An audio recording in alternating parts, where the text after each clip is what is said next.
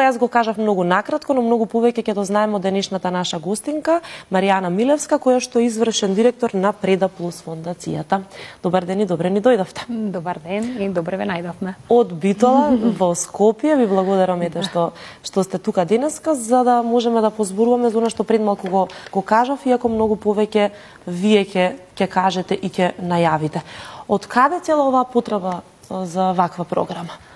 Знаете како во Македонија невработеноста посебно на младите е несомнено голема и она што им се нуди како можност е нешто што треба да се гледа постратешки да се таргетира во, mm -hmm. и тоа беше идејата Преда Плюс е една фондација која работи за економски развој, со така. одржлив економски развој, веќе со искуство од 20 години во своето портфолио со тоа што а, многу блиски релации со бизнис секторот а, и а, она што го а, гледаме ние наблюдуваме како промени што се случува е дека на вистина невработеноста може би како невработеност паѓа во Македонија, меѓутоа сепак младите се уште ни се да. Сепак останува еден од најголемите проблеми кај нас. Посебно за младите. Да. И посебно како да ги мотивираме и заради тоа се охрабривме да, да направиме една програма за поддршка на стартапи, така. која помина како циклус во изминатиот период и на вистина вроди многу плод, посебно во една околина во Битола и Пелагонискиот регион, каде што практично пет години веќе не постоеше нешто како поддршка на предприемништво или поддршка на стартапи. Uh -huh. И а, уште повеќе не охрабри за втората сезона, така да од Битола се може да ја лансираме токму сега, да видиме значи со што да ги охрабриме младите и оние луѓе кои имаат идеја за стартап да се пријават и да добијат можност да го развијат својот својата идеја како стартап и понатаму во сво, во свој бизнес. Така, од идеја до реализација цел тој процес да се помине. Точно така, затоа што идејата како идеја не практично не вреди ништо ако не стигнеме до таа реализација. Да, ако не се изреализира како што треба. На кој начин може да се аплицира? Што е потребно? Многу малку работи. Се потребни, само една идеја која треба да биде некако иновативна. И еден е од условите во предходниот турнус на на повикот имавме некој лимит дека треба да се млади луѓе, сега го отвараме повикот воопшто, значи mm -hmm. годините не се никаков лимит. Значи нема ограничување кога станува збор за за години. Така. Она што имаме како а, барање во самата апликација е дека мора да аплицираат во тимови. Mm -hmm. Покажано е и а, меѓународно и кај во Македонија нашиот пример во претходната сезона покажа дека Тимовите, кога се здружени, идеите успеваат и се формираат бизнисите и заради тоа, значи од старт ние веќе ги филтрираме, да кажам, оние идеи кои ќе дојдат со со тим каде што ќе можат меѓусебно да се надополнуваат и да може mm -hmm. да тоа за да стигнат до реализација на таа идеја. Так. А, што се однесува нели до на што вие го го правите и го давате, поддршка има финансиска или не? Во моментов, значи, концепирана е програмата, оне што ќе влези во програмата, после 30 септември, до 30 септември е самиот рок за аплицирање. После 30 септември, кој ќе влези во програмата, значи ќе добие менторство. Тоа е една интензивна алатка за обучување, значи на, на тие луѓе кои или за кристализирање на нивната идеја, ќе бидат распрашани со повеќе прашања од ментори, така. и групно, и индивидуално ќе имат можност лице в лице да разговараат со тие ментори, да се искристализираат реализираат идејата, да кажеме а, што сака до некаков вид на бизнис план и после тоа ќе имаат интензивен а, како буткам го, го, mm -hmm. го нарекуваме ние, тоа е некаков интензивен едукативен продолжен викенд каде што ќе мора да работат посветено на својата идеја на повеќе области од бизнисот, маркетинг, финанси mm -hmm. и она а, сите аспекти ќе се опфатат и она што е најважно е дека ние ги спремаме до идејата да стигне да искристализирана во моментот каде што ќе можат да си ја презентираат во 3 минути. Така. И тоа значи дека а, тогаш се спремни и им организираме демоден Тоа е ден каде што тие практично ги презентираат своите идеи пред инвеститори. Ние финансиски средства како Преда плюс фондација не даваме во овој момент, меѓутоа носиме инвеститори кои од бизнис сектор и од а, финансиски институции кои се достапни во Македонија, mm -hmm. да можат да ги презентираат пред нив и да почнат преговори за евентуална инвестиција во нивните идеи. Така.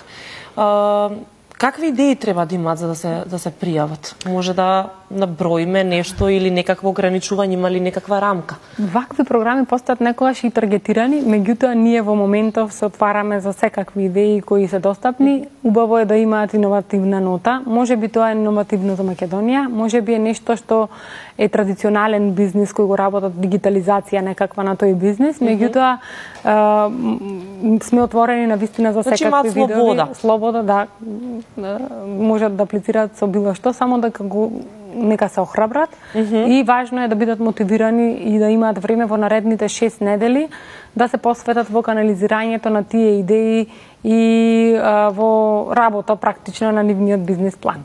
Така, ќе се навратиме на што го кажавте на самиот почеток околу невработеноста и тоа дека младите на вистина заминуваат. Колку Пелагонискиот регион има просперитет со оглед на тоа дека не само од Македонија, туку многу од таму доаѓаат и во, во Скопје, во главниот град? За жал, трендот е тој дека во изминатиот период не престана тој тренд на иселување на младите луѓе и општо луѓето да од помалите места да доаѓаат во главниот град. Во главниот град и и да одат и надвор. А, меѓутоа има и еден интересен тренд па во Битола кој се случи изминатите години дека некои од младите и се вратија назад посебно mm -hmm. од IT струките, каде што најдоа можност за вработување на, на во големи компании. И сега големите компании IT отворија се охрабрија да отворат подружници во Битола, каде што квалитетот на живот на овие луѓе е поголем Така. Затоа што тука потекнува, тука име в семејството и други работи кои им влеја надеж дека ако се вратат ќе имаат подобар живот и тоа се случува, е тренд во во па, Битола. Добро, тоа е позитивно ета. да, да, и тоа до, до, до, ни создава добар добра атмосфера, uh -huh. да кажам во регионов каде што на вистина тие луѓе и бизнис секторот самиот а, признава дека сака предприемнички дух натре и во самата компанија. Затоа што стартапите се стартапи можат да се случат на ниво на нов комплетно бизнис, на невработени луѓе или луѓе кои сакаат да се самовработат, меѓутоа и вработени во самите компании, пак можат да се охрабрат да направат спинов компанија за некое решение кога би го разбиле во рамки на таа голема компанија. Така така да предприемничкиот дух и стартапите се интересна тема во моментот за Битола. Да, mm. со тоа ете и тука кај нас денеска. До кога е отворен повикот уште еднаш да подсетиме и што се треба да направат и каде да да аплицираат да ги подсетим? Така, повикот е отворен до 30 септември. Е едноставна Google форма а, каде е на а, слобо, поставена и на веб страната на Преда Плюс, mm -hmm. www.predaplus.eu. Исто така на Facebook страната има линкови оставено на самата фондација, така што секаде можат да го најдат тој, таа, тој формулар.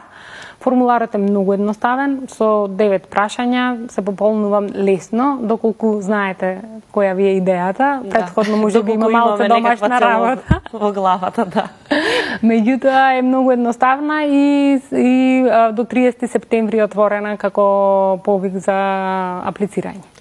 Добро, значи има повеќе од половина месец. Мислам дека е сосема доволно за сите оние кои што имаат вакво нешто во, во главата како идеја и можеби ет, од неодамна сакаат нешто да направат, да искористат оваа можност која што ете заедно со вас им се дава и зошто да не. А ден оваа година не само младите, туку нема ограничување околу годините, уште еднаш да подсетиме дека може секој кој што има предприемачки дух и кој што има идеја, нека направи нешто истото да ја преточи во бизнес. Точно така. Да, така. ќе има таа можност.